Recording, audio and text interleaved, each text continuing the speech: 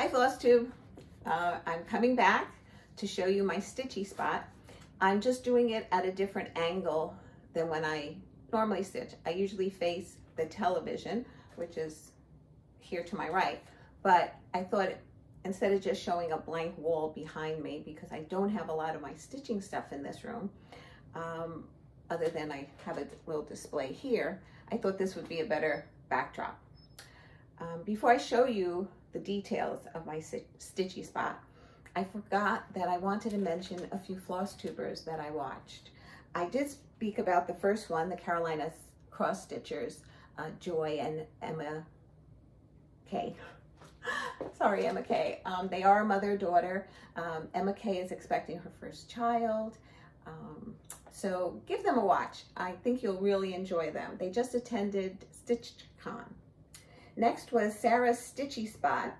Um, in her last video, she showed some prior finishes. She's been stitching a long, long time, and she did a gorgeous um, piece, I think she said like 40 years ago, and um, she gave it to her mother and her mother has unfortunately passed and she uh, has it back and she shared it in her last video. It was just stunning.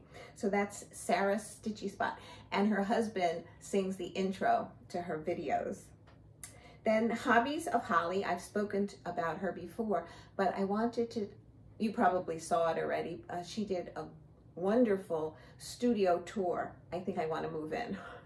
It was magnificent. Um, then I watched one more, the Periwinkle Stitcher from, she's from England and her name's Sean and she has adult daughters, so um, she has no children in the house. I believe they're all out.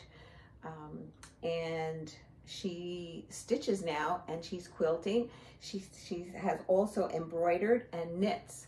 Um, and Brenda and Laura, the serial starter, had mentioned her on their uh, mentioned her on their video and she said, they said, stop what you're doing, go watch her. Um, so I think a lot of people did because in one video she had 21,000 views. Isn't that amazing? So you probably all saw her already, but I thought I'd mention her just the same. She's a lovely woman and I really enjoyed her. I think she has two floss tubes out now and I really enjoyed watching them. Okay, I'm gonna move you a little bit so that I can get into the details of my stitching spot. See, blank wall. I'm going to tilt the camera down a bit.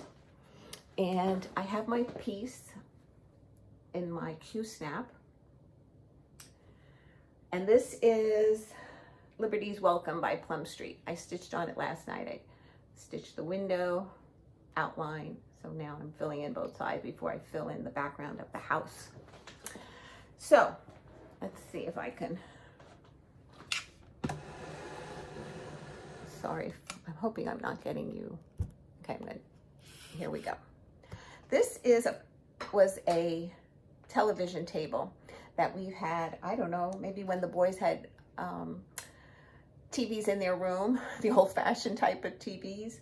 And um, my husband doesn't throw anything away. And luckily for me, he didn't because um, it was a four-sided table and he took off the bar in here and um, on the bottom so that I can pull it in really close to my stitching chair.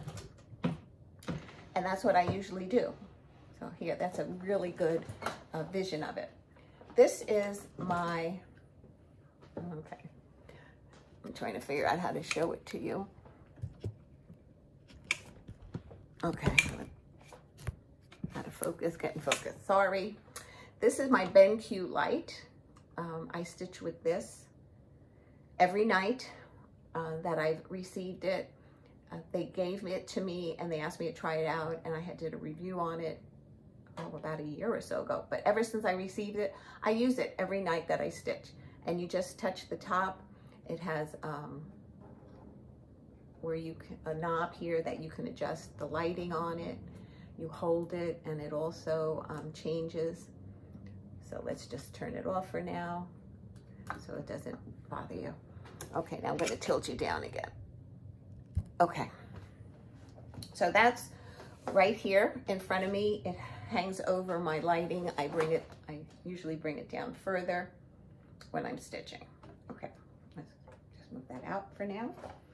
I have this magnetic magnetic board and I purchased it from Amazon.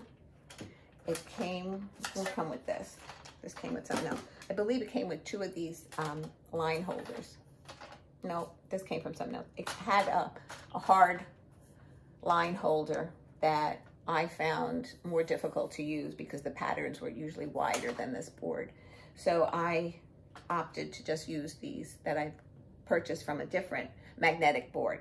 So basically, I put my pattern in here. I don't want to show the pattern, so I will cover it up as much as possible. Put my pattern here. Um, if I have to count lines, I will use this to mark off. I don't mark my patterns normally unless I make a photocopy of it. So, um, so I put that here. I stand it up. Yeah, you can see. Stand it up on the highest one. You have different options here. I, oh, I think I said I purchased it on Amazon and I have no idea, but the word that's on here is L-I-A-N-G-B-A-O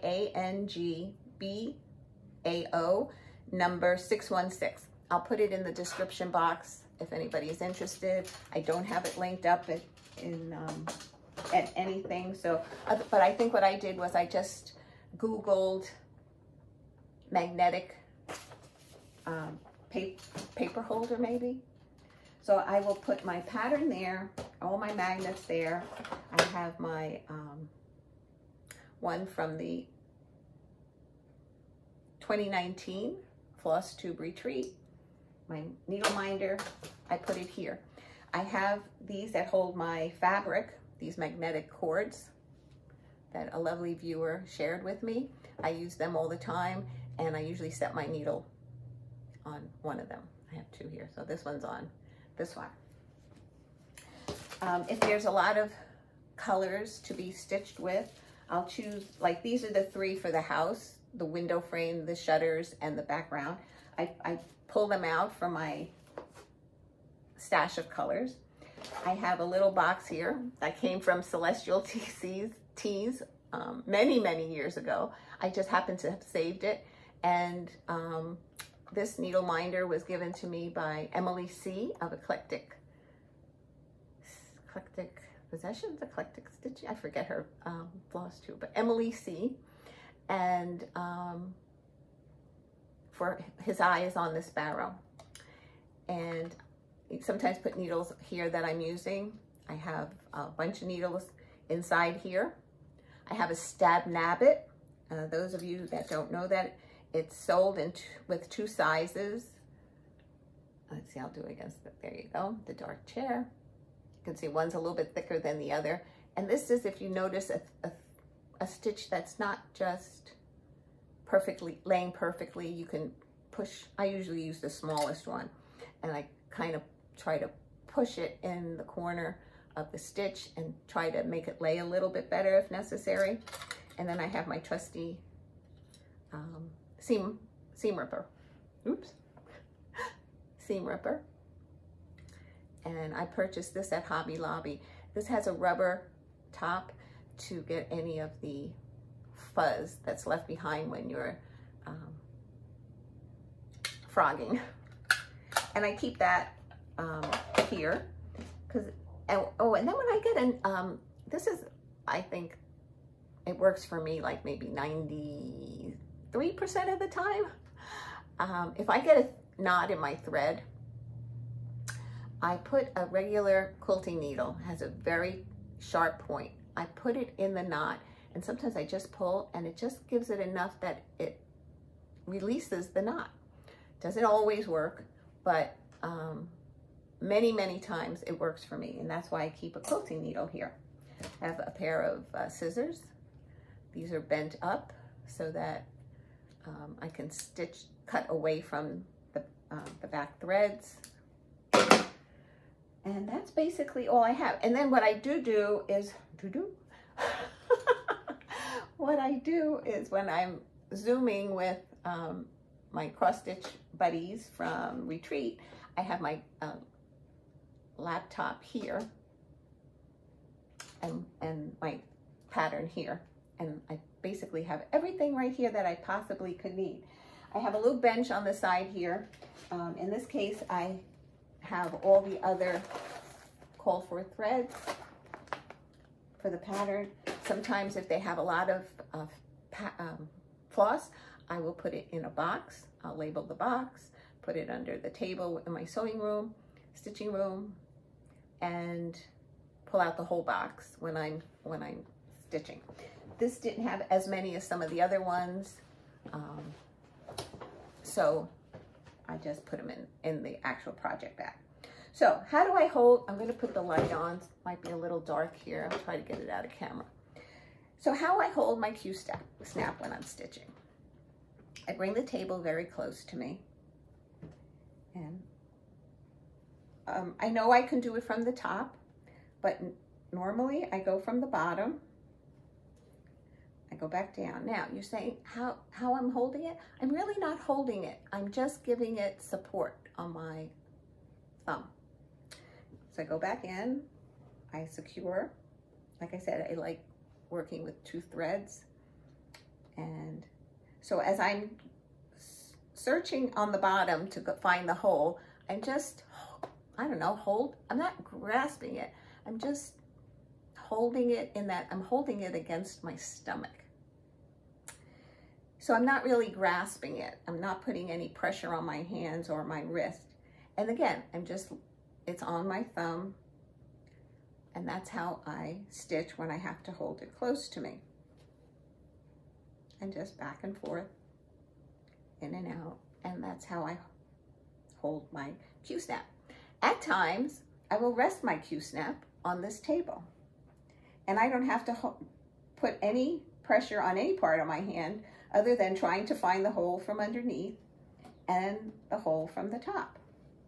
And it's that simple where I lean it on the table and I lean it on myself and I just go in and out. And so I just did those four stitches right there. And that's how I hold, handle working on a Q-snap. Of course, if, uh, now, at a retreat, at the library, the table is in front of me. I do the same thing, or uh, if I want it closer, I'll hold it, just having it leaning on this, or pressure here to hold it against my stomach, belly, my stomach. Um, and that's how it fell out of the, and it just attached to the magnet here. And that's how I stitch on my stitchy spot. So I hope that was helpful to you. And if you have any questions, please feel free. So as I said before, enjoy the 4th of July. All the best to everybody. Love you guys. Mwah.